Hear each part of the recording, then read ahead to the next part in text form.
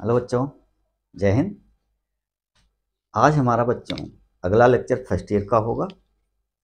First year में बच्चों, मैंने जो एटॉमिक स्ट्रक्चर का चैप्टर शुरू किया था, उसमें बच्चों एटॉमिक स्ट्रक्चर का शुरुआत हो चुकी थी, जिसमें हमने J J Thomson atomic model पढ़ा था बच्चों, जिसे आप वाटरमेलन मॉडल कहते हैं बच्चों। आज उसके आगे हम सबसे इंपॉर्टेंट है बच्चों रदरफोर्ड एटॉमिक मॉडल पढ़ेंगे अब जे जे थॉमसन ने पुडिंग मॉडल या वाटर मेटल मॉडल दे दिया कि उसमें बच्चों पूरा पॉजिटिव चार्ज होता है, अर्थात प्रोटॉन फैले होते हैं एटम में और उसमें बीच बीच में इलेक्ट्रॉन धसे होते हैं। तो ये तो काफ़ी ऑब्जेक्शन प्रूव रहा बच्चों। तो रदरफोर्ड ने अपना मॉडल दिया बच्चों, उस मॉडल का नाम उन्होंने किससे दिया बच्चों? सोलर सिस्टम से। अब सोलर सिस्टम मॉडल भी कहते हैं या इसे प्लेनेटरी मॉडल भी कहते हैं बच्चों। तो इसका नाम है बच्चों सोलर सिस्टम सिस्टम मॉडल भी कहा जाता है बच्चों। या इसी को प्लेनेटरी प्लेनेटरी मॉडल भी कहते हैं प्ले प्लेनेटरी मॉडल भी कहते हैं। प्लेनेट्स का मतलब क्या होता है? ग्रह। तो इसे सौर सिस्टम मॉडल या ग्रह मॉडल भी कहते हैं अंग्रेज़ी में इसे सोलर सिस्टम मॉडल और या प्लेन। अब उन्होंने क्या किया था बच्चों? नेक्स्ट टॉपिक में alpha Rutherford alpha scattering experiment से बच्चों, मैंने क्या निकाल लिया था? याद है? मैंने न्यूक्लियस की खोज कर दिया था बच्चों। जैसे न्यूक्लियस की खोज हुई तो जे जे रदरफोर्ड ने बच्चों 1911 में अपना एक मॉडल प्रस्तुत किया, जिसे कहते हैं बच्चों रदरफोर्ड एटॉमिक मॉडल जिसे प्लेनेटरी मॉडल भी कहते हैं या ग्रही मॉडल जिसे कहते हैं या सोलर सिस्टम मॉडल सौर मंडल भी कहा जाता है बच्चों। अब इसे क्यों कहा जाता है कि सौर मंडल को पकड़िए बच्चों? सौर मंडल में क्या होता है? किस, इस हमारे सौर मंडल बच्चों सूर्य केंद्र में होता है और उसके चारों तरफ़ अपनी अपनी कक्षाओं में प्लैनेट्स चक्कर लगाते रहते हैं, कभी भिड़ते उड़ते नहीं। क्यों क्यों? क्योंकि नाभिक से सूर्य से अलग अलग डिस्टेंस पर होती है, उनकी आर्बिट बच्चों निश्चित होती है। घूमने का जो पथ होता है, वो निश्चित होता है। बस इसी से उन्होंने अपना मॉडल लिया बच्चों।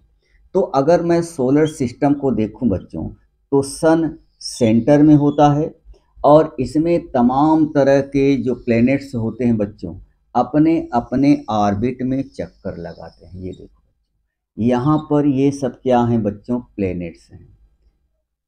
प्लैनेट्स हैं। अब ये जो प्लेनेट्स हैं, ये अपने अपने, अब ये जो सन है बच्चों, बीच में रहता है और इसी से अब यहाँ पर उस सन को बच्चों, उन्होंने क्या कहा है? अपने मॉडल में न्यूक्लियस और इन प्लेनेट्स को क्या कहा है? इलेक्ट्रॉन तो अगर मैं इस मॉडल को खींचूं बच्चों तो बीच में एक पॉजिटिव डेंस मटेरियल होता है, याद है बच्चों, जिसमें प्रोटॉन और न्यूट्रॉन भरे होते हैं। और न्यूट्रॉन न्यूट्रल होता है, प्रोटॉन पॉजिटिव होता है बच्चों, इस प्रकार से ये न्यूक्लियस पॉजिटिव चार्ज होता है और इसके चारों तरफ़ अच्छा खासा एरिया होता है। याद करो बच्चों, मैंने अल्फ़ा स्कैटरिंग एक्सपेरिमेंट बताया था, एटम के चारों ओर वैकेंट एरिया ज़्यादा होती है बच्चों, और इसमें ये देखो, इलेक्ट्रॉन बच्चों इसमें चक्कर लगाते हैं। ये क्या है बच्चों? इलेक्ट्रॉन है। और ये इलेक्ट्रॉन बच्चों, एक सर्कुलर सर्कुलर पाथ पर, क्या बोला? सर्कुलर पाथ होता है बच्चों, जिसे इन्होंने आर्बिट शब्द दिया बच्चों। आर्बिट या कच्छा या सेल या कोस कुछ भी कर सकते हैं। अब ये इनका रदरफोर्ड का बच्चों रदरफोर्ड एटॉमिक मॉडल है। यही इनका एटॉमिक मॉडल है बच्चों। और ये आपका क्या है बोलो? सोलर सिस्टम है बच्चों।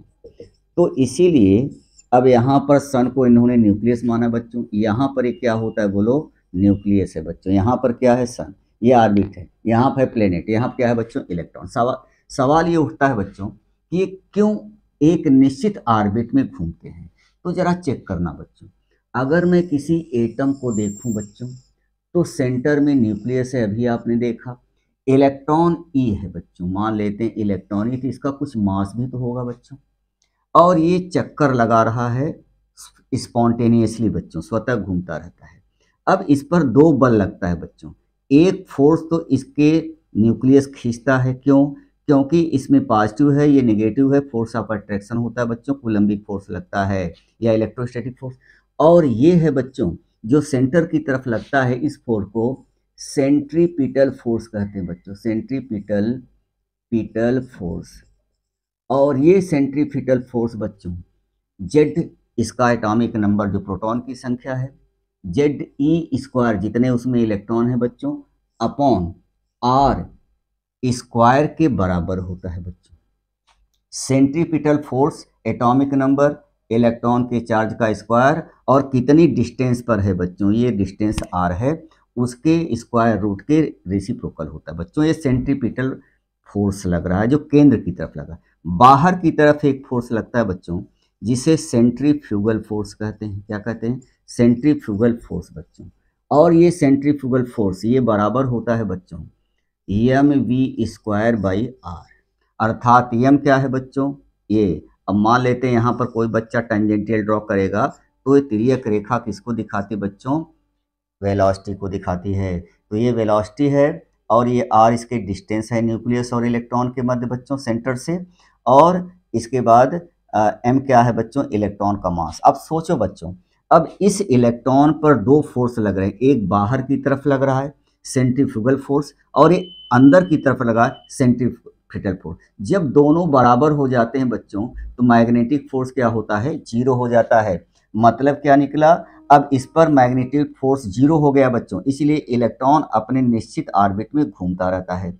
इसका मतलब कि जब बच्चों यहाँ पर जो M V square by R is equal to Z E square upon R square दोनों फोर्स बराबर हो जाएँगे बच्चों तो ये इलेक्ट्रॉन अपनी एक निश्चित ऑर्बिट में घूमता नज़र आता है बच्चों।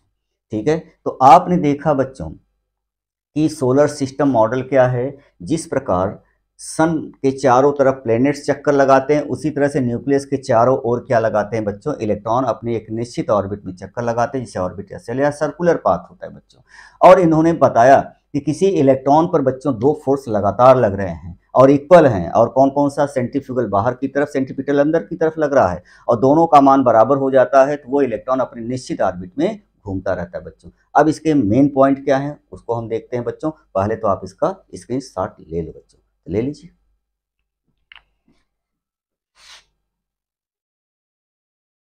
चलो बच्चों रदर फोर्ड के अनुसार होता क्या है बच्चों? पहला पॉइंट देखो।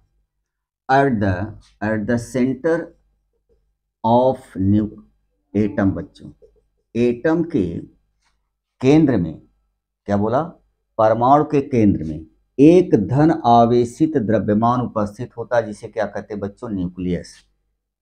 A positive positive charge body present body present इसे कहते हैं बच्चों न्यूक्लियस। अब हिंदी में समझो बच्चों। किसी परमाणु के केंद्र में बच्चों, एक धन आवेशित द्रव्यमान उपस्थित होता है जिसे मैं क्या कहता हूँ बच्चों न्यूक्लियस दूसरा पॉइंट क्या है? जितने भी फंडामेंटल पार्टिकल हैं बच्चों याद करो मैंने दो तरह के फंडामेंटल पार्टिकल बताया था कौन कौन से? स्टेबल और अनस्टेबल आज की डेट में बच्चों दो दो सौ से अधिक फंडामेंटल पार्टिकल ज्ञात है। Today about two more than two hundred fundamental particle भी डिस्कवर्ड इन विच जिसमें से बच्चों, दो तरह के स्टेबल फंडामेंटल पार्टिकल होते हैं स्टेबल और अनस्टेबल अस्थाई और अस्थाई स्टेबल क्या थे जो अपने चार्ज को नहीं बदलते? प्रोटॉन, न्यूट्रॉन, इलेक्ट्रॉन तीन स्टेबल थे, बाकी सब अनस्टेबल थे बच्चों। और ध्यान रहे, मज़े की बात देखो रदरफोर्ड ने बताया बच्चों कि इलेक्ट्रॉन को छोड़ करके समस्त पार्टिकल जो होते हैं फंडामेंटल पार्टिकल बच्चों, वो न्यूक्लियस में पाए जाते हैं। क्या बोला? Except electron all the fundamental particle present in nucleus electron को छोड़कर, समस्त मूलकर, हर समय नाभिक पाए जाते हैं बच्चों। तो इन्होंने क्या लिखा? All the fundamental particle particles present in nucleus बच्चों एक्सेप्ट इलेक्ट्रॉन बच्चों। इलेक्ट्रॉन को छोड़ करके समस्त मूल कण कहाँ पर पाए जाते हैं बच्चों? और इलेक्ट्रॉन क्या करते हैं? इलेक्ट्रॉन एक पर्टिकुलर ऑर्बिट में सर्कुलर पाथ पर चक्कर लगाते हैं, जिसे कच्छक कोष या सेल कहते हैं बच्चों, या ऑर्बिट। तो electron move around the around the nucleus in circular path in circular path बच्चों। कॉल्ड क्या बच्चों? ऑर्बिट इसे क्या कहा गया? ऑर्बिट तो इलेक्ट्रॉन न्यूक्लियस के बाहर बंद वृत्ताकार पथ पर चक्कर चलाते हैं। बस उसी को कहते हैं बच्चों, सेलिया ऑर्बिट। चौथी बात उन्होंने बताया बच्चों, किसी भी एटम में इलेक्ट्रॉन का वेट बच्चों तो प्रोटॉन न्यूट्रॉन के अपेक्षाकृत निगेड होता है नेग्लेजिबल होता है। तो प्रोटॉन न्यूट्रॉन ही तो न्यूक्लियस में पाए जाते हैं बच्चों। तो इसका मतलब समस्त mass of atom conserved in nucleus बच्चों। किसी परमाणु का समस्त द्रव्यमान नाभिक में निहित होता है बच्चों। तो ऑल द वेट बच्चों of atom present in nucleus बच्चों, ठीक है? किसी परमाणु का समस्त द्रव्यमान, चूँकि सभी बच्चे जानते हैं A is equal to P plus क्या होता है बच्चों? एन इसलिए टॉमिक वेट न्यूक्लियस के वेट के बराबर होगा बच्चों, याद रखिएगा। जब पांचवी पॉइंट इन्होंने बताया था बच्चों, जो प्रोटॉन न्यूट्रॉन पाए जाते हैं, उसको कलेक्टिवली एक नाम देते हैं बच्चों, जिसे कहते हैं न्यूक्लियन। ठीक है, ये स्टेबल फंडामेंटल पार्टिकल होते हैं बच्चों। Proton and neutron collectively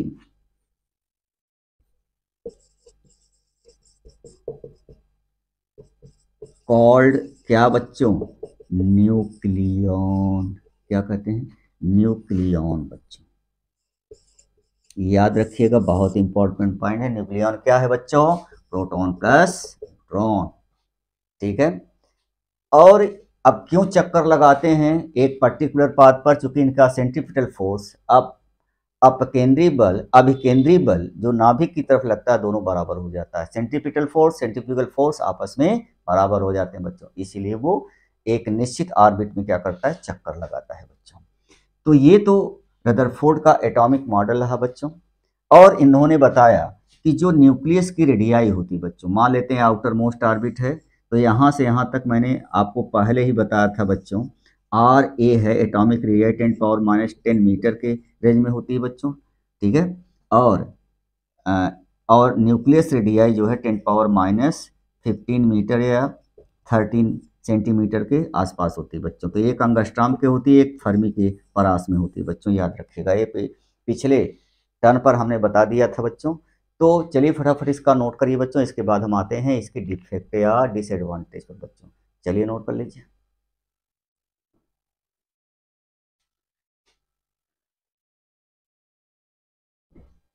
चलो बच्चों, अब इसका ड्रॉबैक क्या है बच्चों? कमियाँ।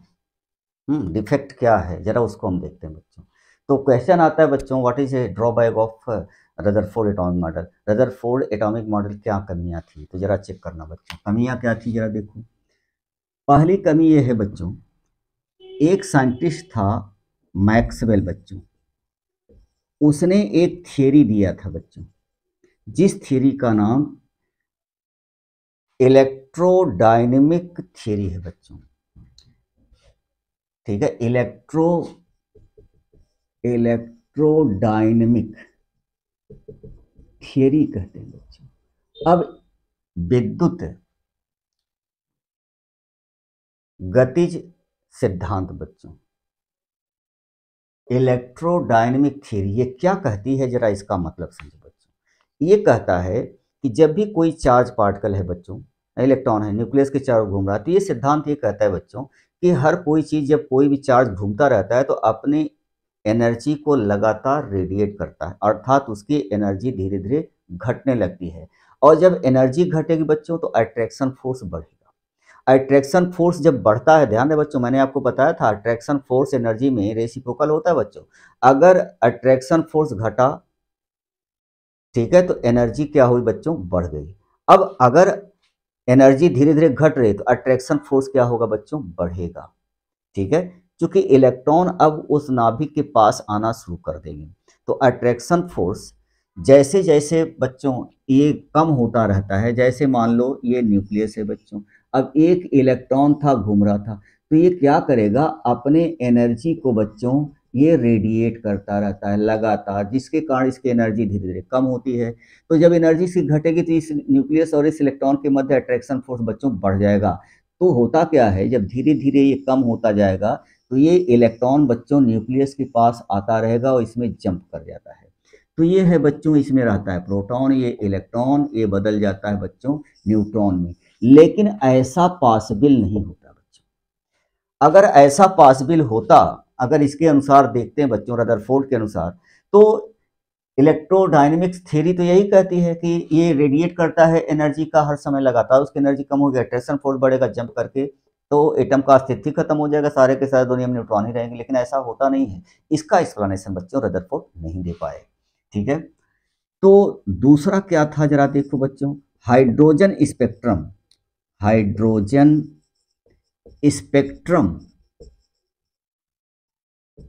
can not explain can not explain बच्चों। ये हाइड्रोजन स्पेक्ट्रम की व्याख्या नहीं करता। अब इनके अनुसार क्या होता है? बच्चों इलेक्ट्रॉन की एनर्जी होती है तो एनर्जी में फ्रिक्वेंसी की जो लाइनें प्राप्त होती हैं, हमने आपको बताया था बच्चों, वो एक फिक्स्ड होनी चाहिए। मतलब इनके अनुसार तो कॉन्टिन्यूस होना चाहिए। जो लाइन जहाँ पर है, वहीं पर बनी रहनी चाहिए। लेकिन ऐसा होता नहीं बच्चों। ये लगातार बदलती रहती हैं। तो इसकी व्याख्या बच्चों नहीं कर पाए। इसके अनुसार कॉन्टिन्यूस होना चाहिए बच्चों। कॉन्टिन्यूस हाइड्रोजन स्पेक्ट्रम होता है। लेकिन रियल में क्या होता है बच्चों? ये डिस कॉन्टिन्यूस हाइड्रोजन स्पेक्ट्रम होता है बच्चों। आई बात समझ में? इसके अनुसार तो होना चाहिए, लेकिन रियलिटी में होता है। इसके तो व्याख्या तो कर ही नहीं सकता।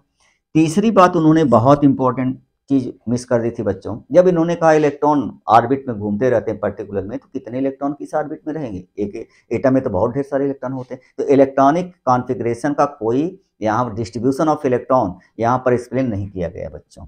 तो यहाँ पर जो डिस्ट्रीब्यूशन है बच्चों, डिस्ट्रीब्यूशन मतलब वितरण, distribution of electron in electron in orbit